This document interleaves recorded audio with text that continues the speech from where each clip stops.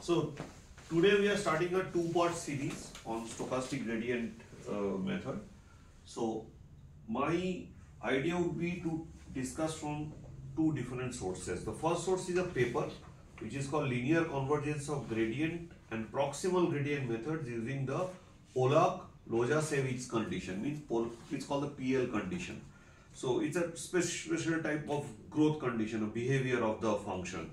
Uh, now let me first discuss why we need stochastic gradient descent method because in machine learning it is very very popular very very common and what is the key idea behind it? So in gradient descent so let's first talk about gradient descent just for a moment.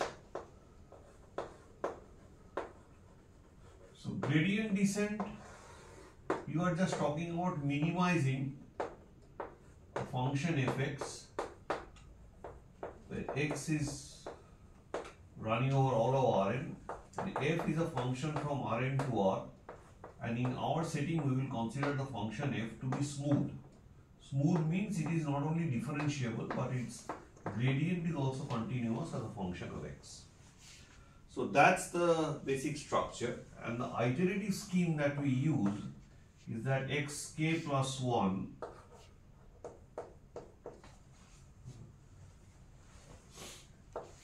is equal to xk minus alpha k grad of fxk. So this is the kth iteration which we will check whether it, it really is a minimizer or not by checking whether it satisfies some kind of optimality condition. If it is not a minimizer, then we will improve it and come to the next point xk plus 1 in such a way, usually we want the function value to decrease, but every time we did not do that. And uh, so when we are looking at methods where we are decreasing the function value at every time, we are generating what is called monotonic methods. And if we are not doing so, we are calling it non-monotonic methods. And this is the updated value. Updated iterate.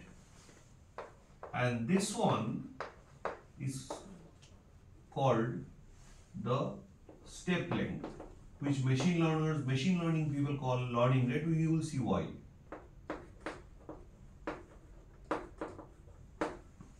So this is the structure very basic structure where this minus grad fx k is the descent direction. Basically what you do in optimization is very naive. You have a point xk where you check whether it is a point where the optimality condition is satisfied. If it is, we stop. If not, move in a direction dk, sorry, dk, where if you move a certain amount along dk, say alpha dk, say up to here, could be alpha could be very small, say alpha k dk. Then xk plus alpha k dk, this point is this point, xk plus alpha k dk is a new point, sorry, alpha xk plus alpha k dk, it's a new point. And we always expect that the function value decreases. That is what is the basic structure of an optimization method, but this need not be the case every time. So there are a whole class of methods called non-monotonic methods which are also important nowadays. And I think that's also an important thing that one has to keep in mind. Because that, that whenever I go from one point to another there is a idea that my function value should decrease, this is a type, typical attitude in the mind of optimization students or optimizers in general, but that need not be the case. So modern research, especially in machine learning, uses non-monotone methods, right? So we will show you what non-monotone methods as we go through this uh, uh, course structure. So let me now talk about uh, stochastic gradient descent. So what is stochastic gradient descent? And why you need to use this stochastic business means why probabilistic stuff should come in.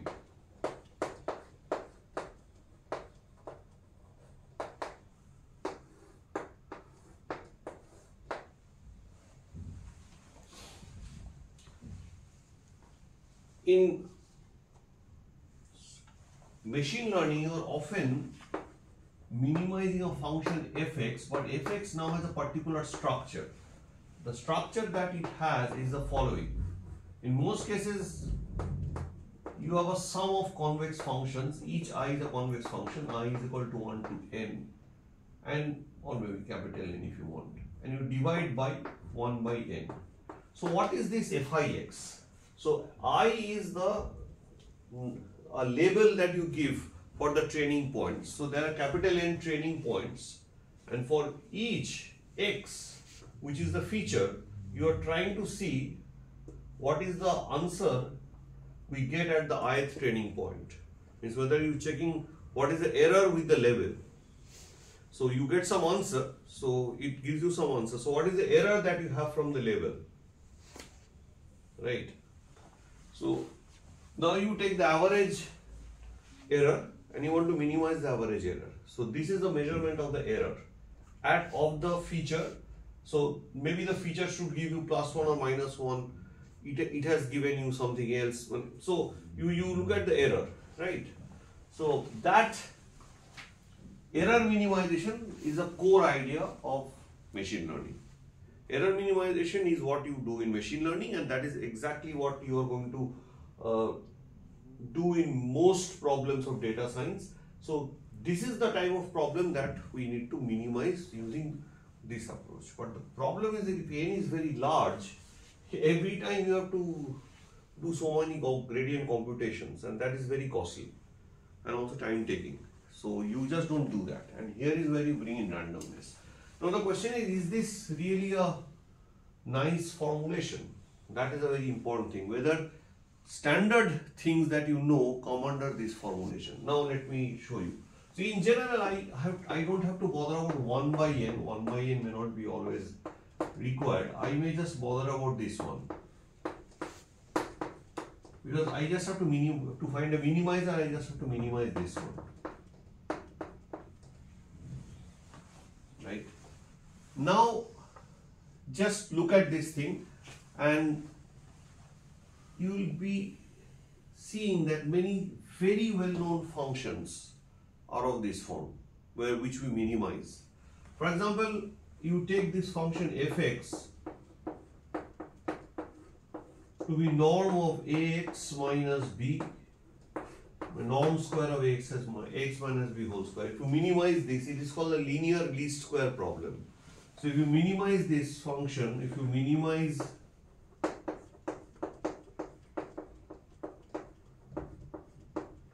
this is this is in Rn. So A is say an m cross n matrix. So this is called a linear least square problem. So is a linear least square problem a problem of this kind?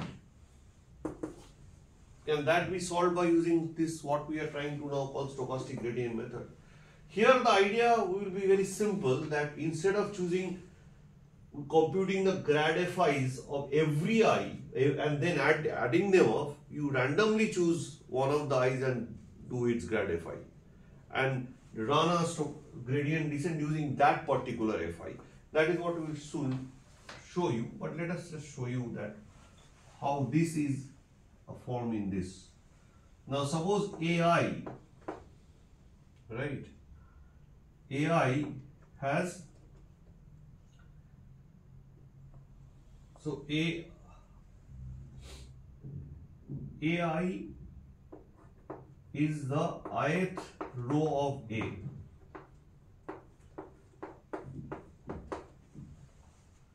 Then f of x is actually norm of the vectors of this form a1x minus b1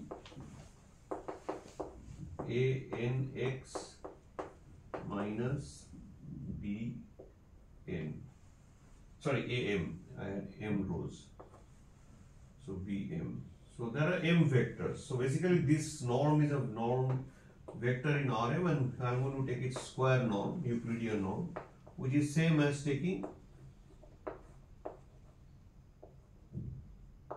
a1x minus b1 whole square which is f1x plus amx minus bm which is fmx.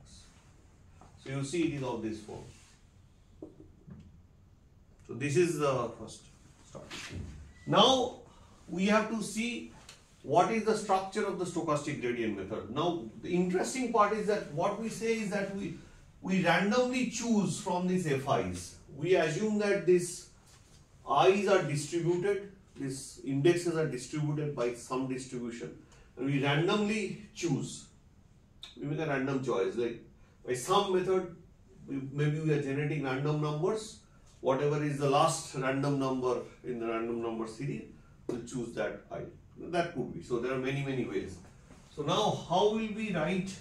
So at the kth iterate, so let me just, uh, what should I do?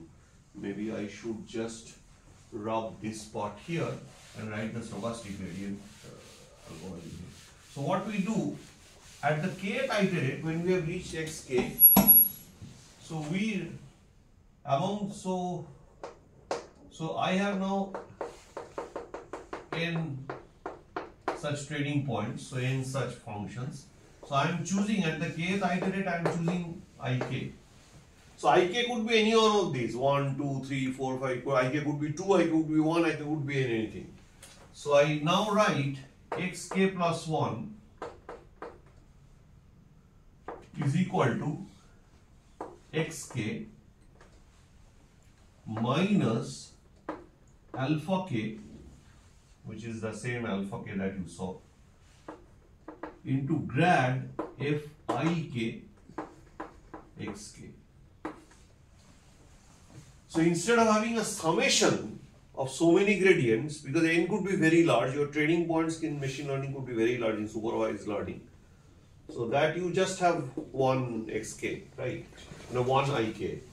So you reduce your computational effort, but there you have introduced randomness. And it is very important to understand at this point, once you have done, put a random thing here, your output is a random variable. So what you do now is a random variable. This is a random variable or a function of the random variable. This is a this is a key fact that you have to keep in mind. Now this thing is the iteration of this called the stochastic gradient descent. Actually, alpha k can be either held constant or alpha k is actually designed in such a way that it updates. The more information you get, you, you have more, the more information you get, the more better way you can adapt alpha k. So alpha k is basically learning the progress of the algorithm. So machine learning people usually call it learning rate.